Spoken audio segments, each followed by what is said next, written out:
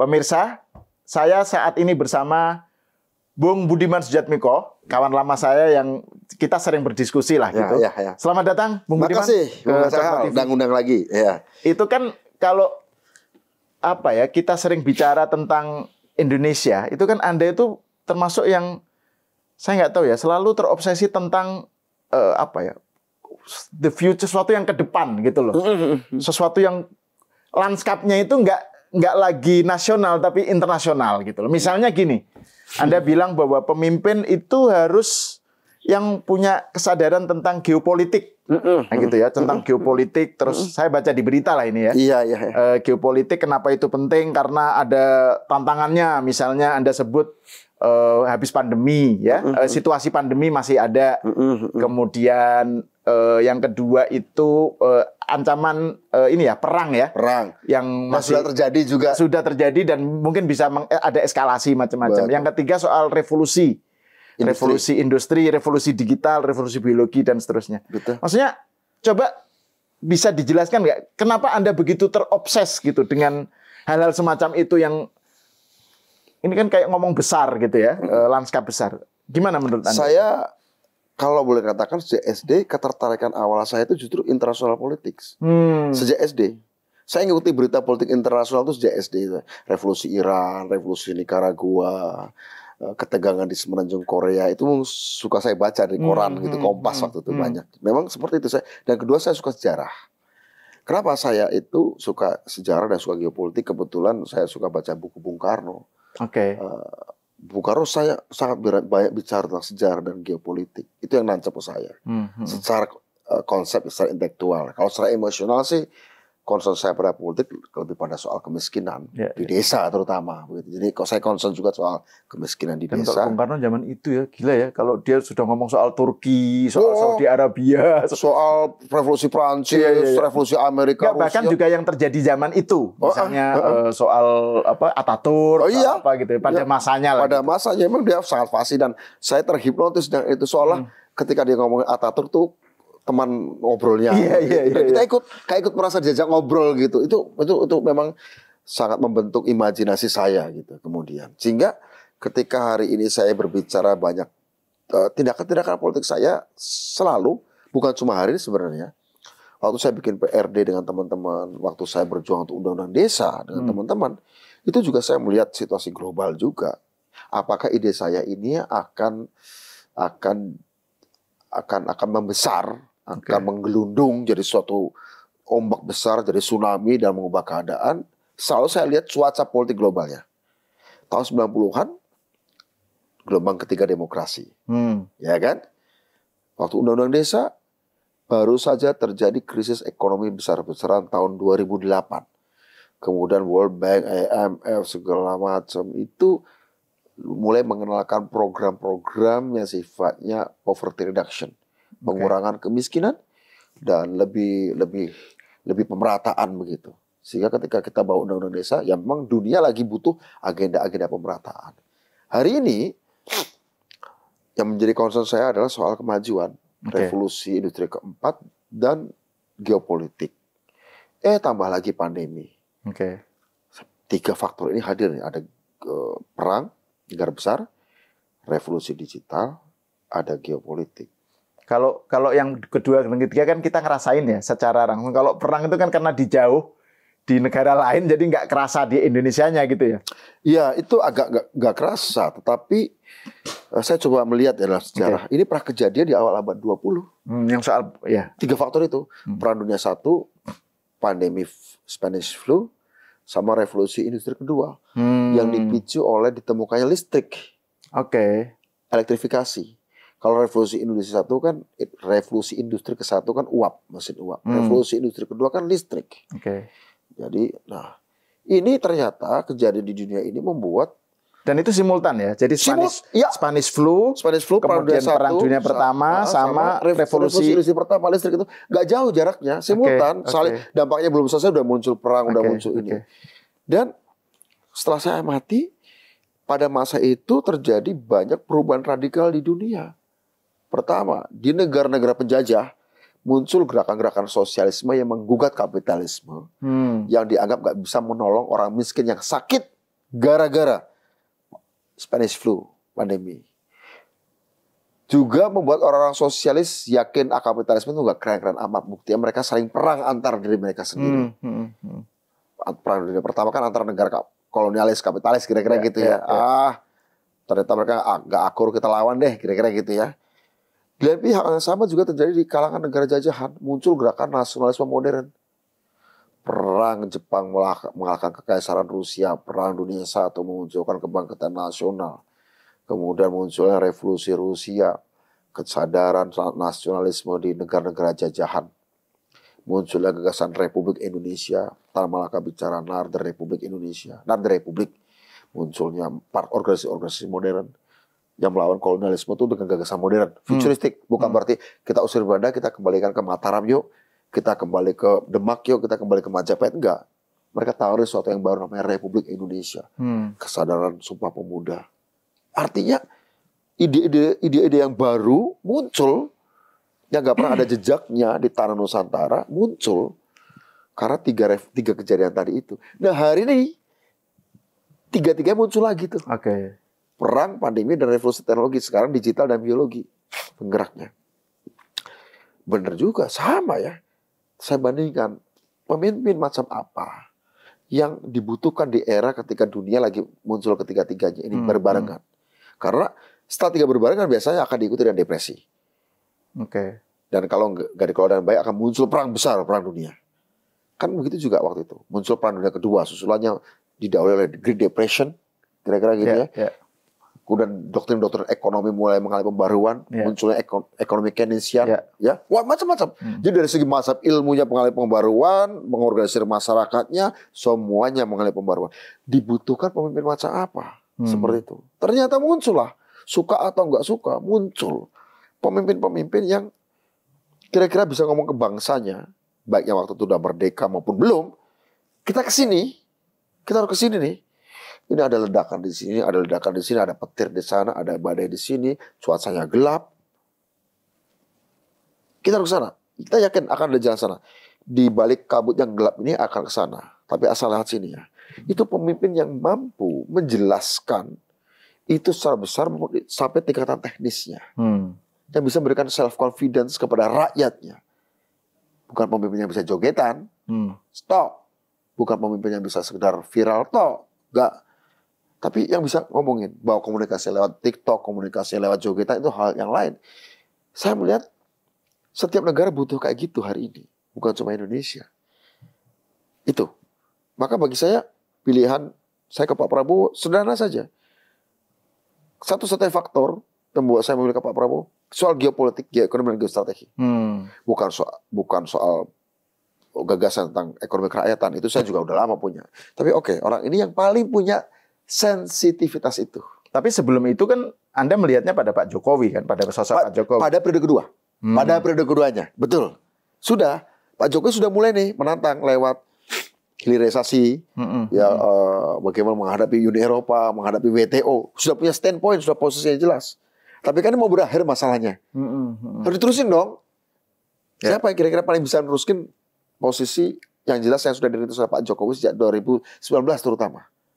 Harus diterusin, jangan saya kemudian udah kayak gini kita mundur lagi, begitu. Mm-hmm. Kan kalau kembali ke soal Pak Jokowi lah ya tentang eh, kaitannya dengan leadership yang anda yeah. bayangkan tadi. Uh, uh Kan Pak Jokowi berkali-kali menyatakan tentang pentingnya kita menghindari middle income trap. Betul. Seperti yang terjadi betul. di Amerika Latin gitu betul, misalnya betul, kan betul, yang betul. Uh, apa meskipun pemimpinnya gonta-ganti dari kanan ke kiri, ya. dari kom, apa dari uh, dari dari ideologinya ya. Konservatif ke uh, uh, progresif uh, uh, tapi ternyata ekonominya tetap stagnan ya. gitu ya.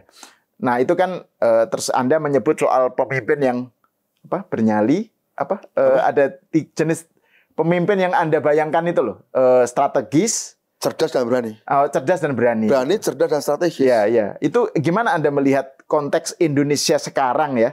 Maksudnya konteks Indonesia uh, apa dalam kaitannya dengan kepemimpinannya Pak Jokowi dan yang sekarang lah gitu dengan pertama pemimpin. pertama gini cerdas itu urusannya dengan berani nggak secara cerdas melanjutkan program yang baik tapi belum tuntas oke okay pemimpin yang cerdas melihat bahwa membangun infrastruktur itu benar. Hmm. Ba- Bangun jalan, bangun jembatan, bangun pelabuhan udara, bangun pelabuhan laut itu benar. Satu. Pemimpin yang cerdas melihat bahwa hilirisasi itu adalah tahap awal dari industrialisasi dan itu adalah konsekuensi dari sebuah negara yang ingin menciptakan sumber-sumber pertumbuhan ekonomi baru. Oke. Bukan sekedar dari proses menggali, menebang dan menjual sumber daya alam, tapi bagaimana setelah digali dia menjadi finished good, menjadi Hmm. barang pabrikan yang jadi. Setelah ditebang dia kemudian menjadi barang yang jadi. Setelah digali, tebang, baru dijual. Bukan gali langsung jual, tebang langsung jual. Gali proses hilirisasi baru jual. Hmm. Tebang proses hilirisasi baru jual. Bukan gali, tebang langsung jual.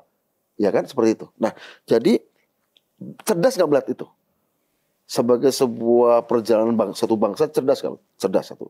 Kedua, berani nggak melakukannya? Karena ketika kita mungkin sudah menguasai ilmu hilirisasinya, Hmm. akan dilawan nih. Ada nggak suka nih? Berani nggak lo ngelawan itu? Lo mungkin bisa ilmunya membuat hilirisasi. Sudah, cerdas kamu. Tapi satu berani nggak?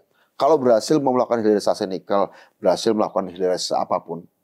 Tapi nggak berani juga, ilmunya jadi percuma. Berani itu maksudnya menghadapi kekuatan Menghadapi asing tekanan. ya misalnya Tekanan. WTO, WTO, atau segala macam ditekan, digertak, segala macam. Berani nggak? Kedua. Kemudian strategis nggak? Nah, strategisnya penting. Agar beraninya tidak asal berani. Oke. Karena ada berani nekat, karena dia nggak strategis. Dia, oke gue berani, gue lawan. Ya, percuma saja kalau nggak strategis. Karena dengan berpikir strategis kita tahu keberanian kita ini, Hmm. kecerdasan kita ini supaya menang, kamu harus tahu siapa kawanmu, siapa lawanmu pada pada sektor industri ini. Pada sektor industri lain, mungkin lawannya lain. Mungkin kamu harus bersekutu dengan lawan yang tadi. Kamu berkawan dengan lawan yang tadi untuk sektor industri ini. Hmm. Industri digital siapa yang nggak suka, siapa yang akan suka hilirisasinya. Industri tambang siapa yang nggak suka dan siapa yang suka atas hilirisasi. Itu beda, beda bisa Oh, beda-beda. beda. bisa Itu beda-beda. beda-beda. Jadi yang menjadi kawan di satu sektor bisa menjadi allies Contoh, di sektor lain. nikel, Oke. nikel lawan kita Uni Eropa. Hmm. Yang keberatan mereka kita Uni Eropa. Bauksit kemungkinan yang keberatan China. Oke. Beda lagi. Hmm, hmm. Sama-sama tambang. Hilirisasi di sektor digital lawannya bisa jadi Amerika, lawannya bisa jadi eh, Korea. Hilirisasi di sektor digital lawannya bisa jadi Amerika, Jepang, Korea. Hilirisasi di sektor nikel lawannya bisa jadi Uni Eropa. Hilirisasi di sektor bauksit lawannya bisa jadi China. Hmm. Jadi masing-masing juga beda. Jadi ada kecerdasan, ada berpikir strategis. Oke. Ya, ini penting. Nah, saya melihat negara berkembang itu kayak nggak boleh punya pemimpin dengan tiga kriteria ini. Kalau ada cenderung yang berani, usahakan dia jangan cerdas deh. Hmm. Nanti kita supply, kita expose di media asing. Kalau dia cerdas, usahakan jangan berani deh. Caranya gimana ya? Kita dukung dia supaya ngomong di Chatham House, di di foreign policy, cerdas kan? Tapi yang penting jangan berani deh, ikut agenda kita aja Oke. ya suruh ngomong di Kongres Amerika suruh ngomong eh, difasilitasi kalau perlu ya kan eh tapi udah ada yang berani dan cerdas ya udah terlanjur ya, kalau itu usahakan dia jangan berpikir strategis deh Hmm. Tapi ini yang ini kan saya jadi teringat eh, apa komentar Anda juga di ya kan ini sebelum kita berbincang ini kan saya riset dulu oh iya iya Google dulu. oke siap siap Ini, ini ada pernyataan judul yang bisa menimbulkan salah paham kan.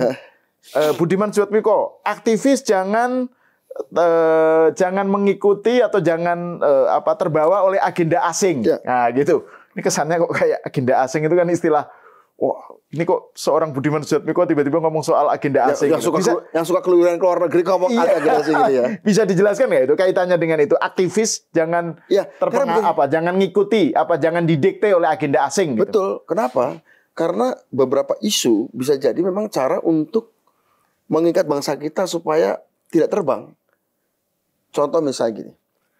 Contoh soal hilirisasi. Boleh kritik soal tentang nikel macam. Kritik soal pa- eh, apa, lingkungan.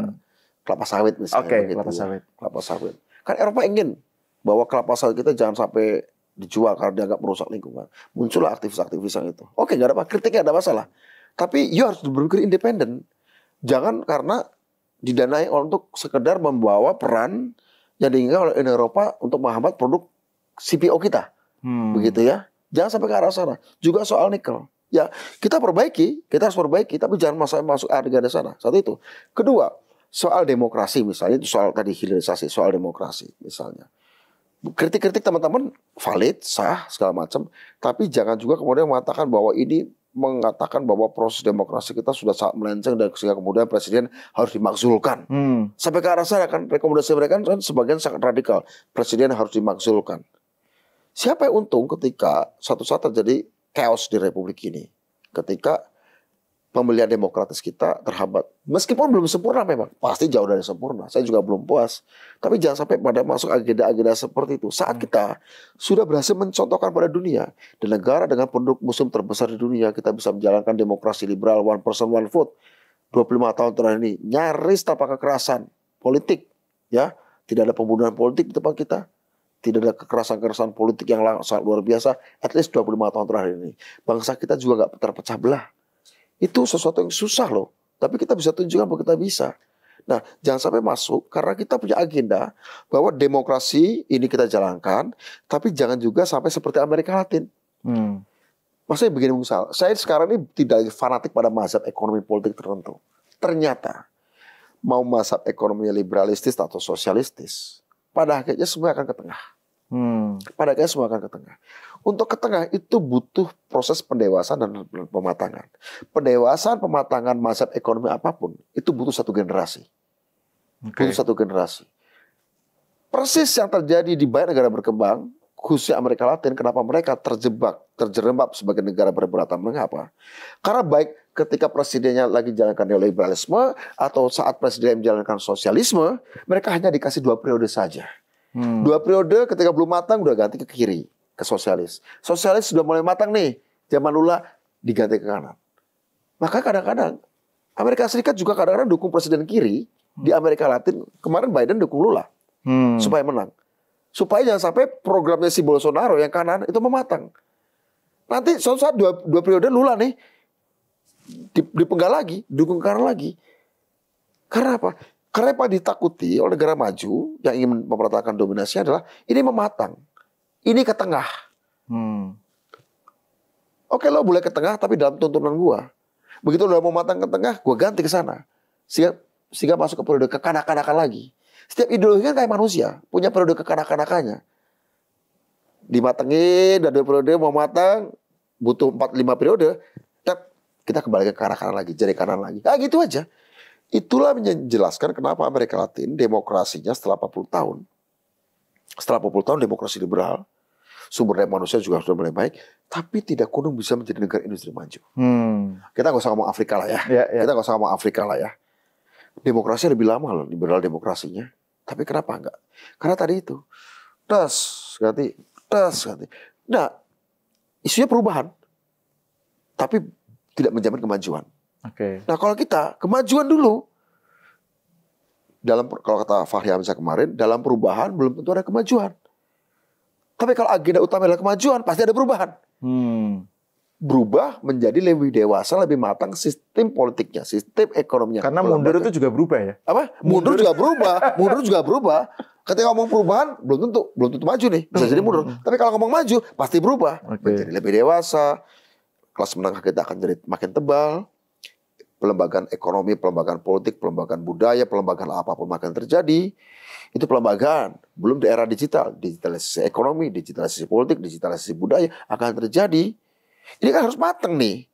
Begitu ini dipotong, kesal lagi, ke fase anak-anak lagi, mulai lagi. Mau matang dipotong ke kiri. Ya berubah tapi kanan kiri, bukan belakang tengah ke depan. Ini yang dihindari. Hmm, hmm. Ini yang menurut saya skema seperti ini harus dipahami oleh kita semua. Harus dipahami oleh kita semua.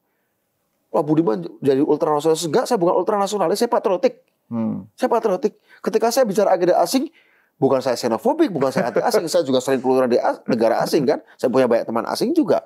Saya kuliah di Inggris juga. Hmm. Uh, banyak wartawan asing tidak menginvitasi saya, teman-teman lama saya, BBC, Washington Post, New York Times, NHK kemarin CNBC, semua pertanyaan sama.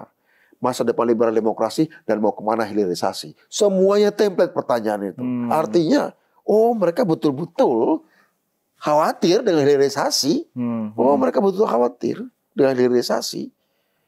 Karena hilirisasi itu artinya memang Indonesia mereka jadi bergantung pada Indonesia ya. Gini, kalau ada orang tanahnya kaya, warisnya kaya, pinter pula, Hmm. nggak bisa gua bohongin nih orang. kalau bisa dia anak orang kaya, bego lah, biar kita bisa porotin. Ini orang kaya, pinter pula. Wah kita kalah saing dong.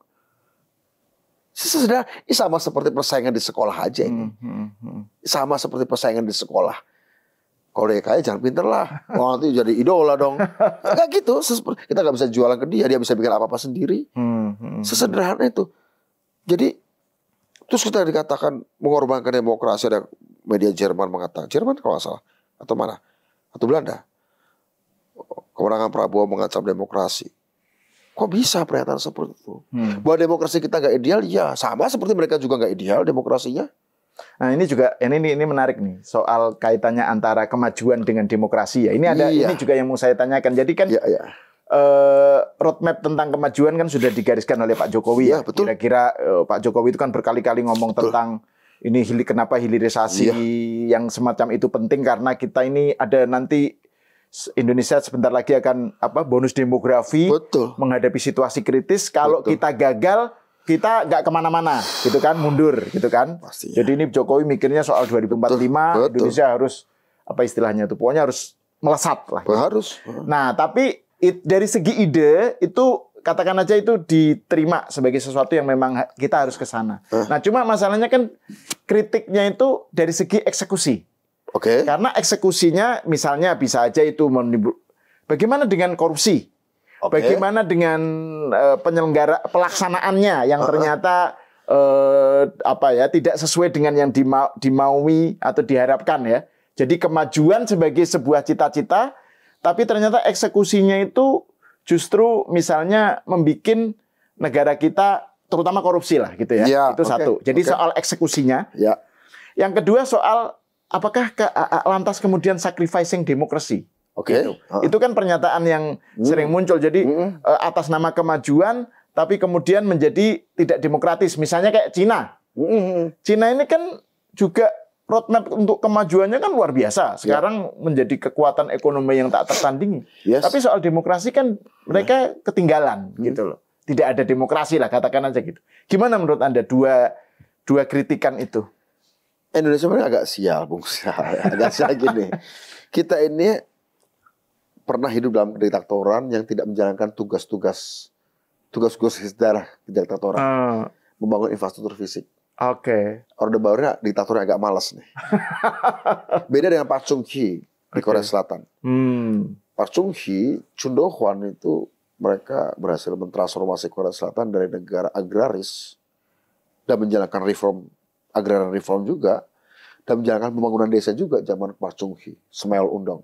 Under authoritarian Ada regime. rezim dan melahirkan pebisnis-pebisnis kelas dunia. Hmm. Di Indonesia kan tidak. Paling cuma Indomie aja yang terkenal. Kita masih industri ringan, light industry. Hmm. Hmm. Sehingga ketika di Korea Selatan terjadi demokrasi, infrastruktur fisik sudah terbangun. Oke. Infrastruktur ekonomi sudah terbangun. Sehingga tugas rejim atau presiden-presiden demokratis setelah Chun Do-hwan jatuh tahun 87 atau 88, itu semua sudah terbangun. Sehingga program-program yang muncul adalah apa? Sosial program Hmm. dan ekonomi kreatif. Oke. Enak. Jadi eh, sosial program dan ekonomi kreatifnya sudah dibangun di landasan infrastruktur industrialisasi yang dibangun oleh rejim otoriter. Kenapa bisa dibangun? Karena ada oposisi yang cukup kuat untuk mengganggunya. Di Indonesia kan tidak. Berapa puluh kilometer sih yang terbangun jalan tol zamannya Orde Baru? Berapa sih pelabuhan udara, berapa pelabuhan laut nggak terbangun? Berapa sih konglomerat kita yang go global, yang punya sekelas Samsung, sekelas Hyundai, sekelas Kia, sekelas apa pun? Nggak ada. Padahal 32 tahun. Ya kan? Oke, akhirnya rejim demokratis, presiden-presiden demokratis sejak 98 sampai sekarang menjalankan dua impossible task yang task yang susah untuk digabungkan sebenarnya. Hmm. Men- Menjaga tradisi demokrasi yang harus gonta-ganti lima tahunan dengan program-program yang tidak cukup satu periode, butuh minimal satu generasi. Oke. atau dua generasi bahkan. Infrastruktur fisik dan sumber daya manusia. Hmm. Infrastruktur fisik dan sumber daya manusia. Ini kan dua tugas yang nggak cukup 25 tahun.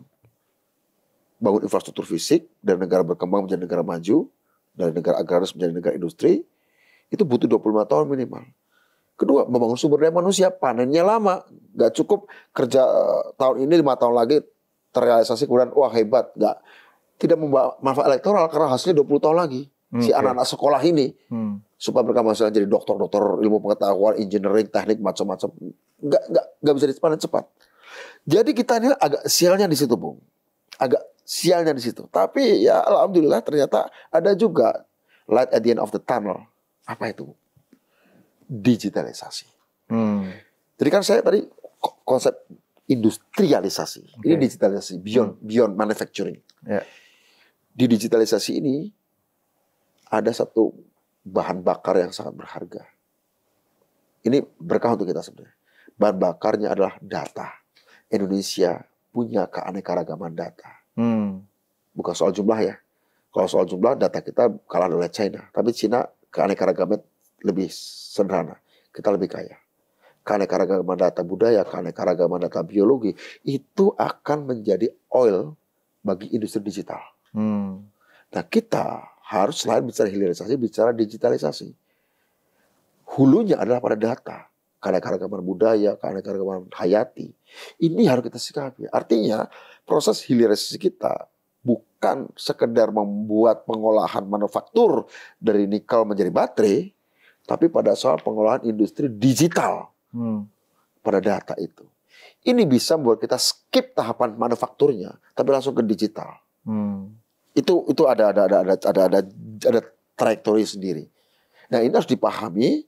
Makanya ketika Pak Prabowo kemarin dalam debat terakhir kita ingin mengirimkan 10.000 orang belajar sains, teknologi, engineering, and math dan 10.000 dokter tiap tahun. Karena memang kita harus mengelola ini semua. Bukan pada insinyur mesin mungkin, tapi insinyur komputer barangkali atau insinyur elektro. Karena beda tuh kebutuhan-kebutuhannya. Kira-kira gitu, Bung. Ya, terus kemudian yang soal tadi soal eksekusinya. Eksekusi. Ya, misalnya soal korupsi atau soal misalnya pembangunan infrastruktur ternyata eh, nggak beres gitu misalnya atau prioritas eh, kereta cepat ternyata eh, apa eh, salah salah salah eh, salah prioritas gitu misalnya. Ya. Jadi Oke, ide ya. besarnya bagus, Heeh. tapi ketika pelaksanaan the devil is in the detail kan. the devil is in the detail. That's why. Itu itu gimana cara maksudnya itu kan bisa aja justru malah membikin mundur juga gitu. Jadi maksud saya Paham, paham. eh, Ah, tahu tahu. Soal bagaimana memba- membersihkan kotoran-kotoran dari dari sebuah kerja gitu. Iya, Kita bekerja betul, pasti betul. ada sisa-sisa dan Iya, residu-residu. iya, iya, iya. Itu sepakat. Tapi sekali lagi itu ya satu ya jawaban kelasnya penegakan hukum. Kedua pengawasan, pengawasan melekat. Pengawasan melekat itu nggak mungkin dilakukan oleh manusia. Hmm. Pengawasan melekat hanya bisa dilakukan oleh mesin cerdas. Yang pengawasan melekat hanya bisa dilakukan oleh komputer. Itu juga menjadi komitmennya Pak Prabowo besok, Mas Gibran adalah melakukan proses pengawasan melekat untuk mengawasi program-program itu. Tapi istilah waskat itu dulu zaman Orde Baru. Orde baru. Tapi WhatsApp itu nggak ada teknologinya, kan? Nggak ada, Nggak ada Tapi teknologinya. istilahnya waskat kan. Waskat, itu kaitannya dengan apa ya waktu itu? Ya? Saya lupa, tapi yang paling mungkin yang malaikat yang bisa melakukan Bukan, pengawasan. bukan. Maksud saya waktu itu soal PKI ya? Bukan, ya? bukan, bukan, Bukan. bukan, ya? bukan. Oh, oh So- kalau yang PKI soal bersih lingkungan Bersih ya. lingkungan. Oh, iya, iya, Ini iya. waskat itu pada soal ya soal performa kinerja. Oh, oke oke. soal performa kinerja birokrasi. Istilahnya waskat Iya, pengawasan melekat iya betul. Nah sekarang waskat bisa dimungkinkan dengan Oke. teknologi. Hmm. Nah ya mau nggak mau ada te- intervensi teknologi seperti itu. Oke oke. Heeh. Dan eh, Teknologi digital terutama. ya ya. Jadi ini eh, untuk pertanyaan yang terakhir kaitannya dengan tadi kan soal roadmap kemajuan ini. Ya. Eh menurut jadi menurut Anda seberapa jauh eh apa terpilihnya Prabowo Gibran ini bisa menjadikan Anda itu seberapa optimis seorang Budiman itu melihat eh, apa yang dibayangkan Pak Jokowi tentang masa depan gitu itu Saya- soal keberlanjutan. Poin saya soal keberlanjutan. Pak Prabowo konsennya cuma dua yang saya tahu, yang saya tangkap ya, mungkin salah. Kesejahteraan menetes ke bawah, dan kedua Indonesia naik peringkat global dan disegani Hmm. dalam soft diplomasi and hard diplomasi, soft power and hard powernya. Itu aja konsep Pak Prabowo. Rezeki menetes ke bawah, uh, menggerakkan kooperasi BUMDes untuk menjadi mesin utama ekonomi, terutama dalam program makan siang gratis, Hmm. sama Indonesia kuat. Saya melihat Pak Prabowo concern ke sana. Bukan berarti nggak perlu yang lain. Yang pertama itu berarti dekat dengan obsesi seorang Budiman terhadap soal apa desa ya. Ya, Oh, apa Ah, kan Anda selalu bicara betul. tentang apa pemberdayaan desa lah ya. pemberdayaan rakyat Oh, di grassroots akar rumput. Iya, iya, itu itu iya. concern saya. Tapi saya juga tertarik pada geopolitik. Hmm, oke. Nah sekarang tapi saya tertarik juga dengan teknologi. Hmm, hmm, hmm. Nah ruang antara geopolitik dengan pemberdayaan rakyat di bawahnya, di tengahnya itu adalah tentang teknologi, tentang sains, teknologi. Keseluruhannya tentang budaya lah ya. Ya, ya, ya. Sains dan teknologi. Rakyat di akar rumput, dinamika politik global, maka yang menjembatani semua adalah teknologi. Hmm, hmm. Maka ini juga berbicara soal inovasi, digitalisasi, bicara soal optimalisasi dana desa agar dipakai juga untuk mengembangkan sumber daya manusia, dekarbonisasi. Hmm. Kita punya banyak eh, dunia ini lagi butuh kita. Kita bisa mengenalkan sebuah ekonomi baru. Dunia butuh Indonesia memberi mereka nafas. Maka dekarbonisasi itu sama sebenarnya dengan oxygenomics. Hmm. Kita harus oxygenomics ini yang menjadi kekuatan Indonesia. Ya, yaitu ekonomi yang memberi nafas pada dunia. Perdagangan karbon, segala macam karbon trading. Kita punya banyak pohon kan. Bagaimana kita menanam pohon dan kemudian kita petani mendapatkan manfaat eh, finansial, keuangan dari menanam pohon, merawat pohon. Karena dunia butuh Indonesia sebagai paru-parunya untuk tetap sehat. Terus ada lagi tuh yang Anda merespon soal debat waktu debat antara Gibran dengan Pak Mahfud itu loh. Ah, Yang soal apa itu yang Anda Carbon, bilang carbon, capture, carbon capture kan? bukan yang eh, bahwa ya, poinnya Gibran kan soal bad consequences dari eh, dari sebuah Green, policy. greenflation. Iya, greenflation. Ya karena ketika kita lakukan transaksi Bisa dijelaskan lagi nggak itu? Karena Jadi kita gimana? saat ke- greenflation itu adalah sebuah istilah ekonomi baru memang. Hmm. Istilah ekonomi baru tentang biaya ekonomi yang akan muncul, biaya tambahan yang naik akibat transisi sebuah negara dari ekonomi fos, eh, energi fosil ke energi terbarukan. Hmm. Kan banyak yang akan naik. Alat-alatnya, ya kan? Alat-alatnya akan baru, membeli alat baru. Oh, biomass, panel, ya kan masih masih kurang kita teknologi di sana. Pasokan itu kita harus membeli atau kita membuat pabriknya sendiri, investasi. Nah itu kan butuh biaya ekonomi, membutuhkan kawasan industri untuk infrastruktur membuat solar panel atau eh, perangkat-perangkat teknologi energi terbarukan. Saat itu kan menimbulkan kenaikan biaya, muncul kenaikan ekonomi, kenaikan barang-barang. Ada konsekuensinya secara ekonomi. Bagus secara ekologi, dalam waktu dekat berdampak negatif secara ekonomi. Hmm. Artinya apa, Bung? Kita nggak hidup di surga. Kebaikan yang satu membawa bayaran dengan berkurangnya kebaikan yang lain. Hmm. Ini soal trade off juga ya. Soal trade off, kepemimpinan adalah persis soal itu. Hmm. Public policy atau kebijakan publik adalah persis soal itu. Soal negara 270 juta orang lebih ini persis adalah untuk tidak kita nggak mungkin menyenangkan semua orang dalam waktu lima tahun. Oke. Kita harus memilih siapa harus kita senangkan. Hmm. Nah, konsekuensi-konsekuensi dihitung nggak oleh orang yang ingin jadi presiden ini? Hmm. Dihitung nggak?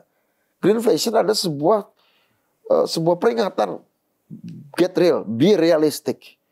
Anda nggak bisa kelangenan bikin visi misi isinya tentang semua kebaikan. Anda nggak sadar bahwa kebaikan di satu akan memakan kebaikan di nomor tiga. Kebaikan di nomor tiga akan memakan kebaikan di nomor tujuh.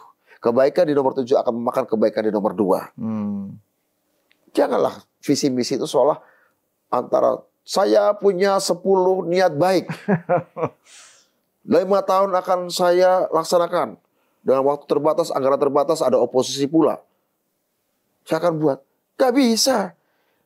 Kebaikan satu akan mengorbankan. Kalau kamu ambil, ambil satu, maka yang nomor sembilan harus lo korbankan.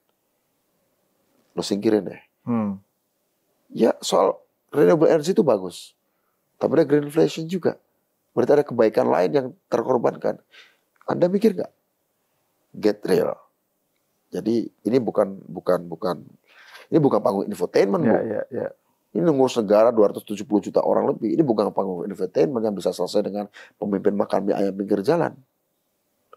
Atau pemimpin eh, seorang pemimpin eh, hanya menjanjikan surga yang belum eh, yang belum bisa disaksikan, Hmm. menjanjikan kalau kata Khrushchev menjanjikan bikin jembatan yang bahkan soalnya nggak ada, ya kan? Gak bisa kayak gitu. Kita mengajak real, gitu loh. Enak jadi jadi orang mengkritik, semua serba salah mudah. Loh, saya pekritik, tapi saya mengkritik jam orde baru. Tapi saya tidak mau jadi kritikus abadi. Saya juga butuh kemenangan. Hmm. Agar apa? Ya agar ada dampaknya dirasakan gitu. Ya, ya. Gitu.